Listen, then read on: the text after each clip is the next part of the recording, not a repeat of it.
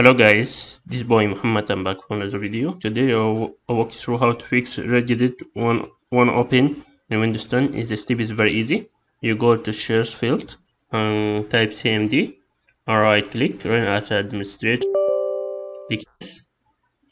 And after that you will run the following code. The following code C S F C slash scan now and click on OK. After that, the command is finished. You need to restart your PC. That will fix the problem. And this video for today, I hope helpful for you. And don't forget to subscribe my channel to see new stuff and see you next time guys. Bye bye.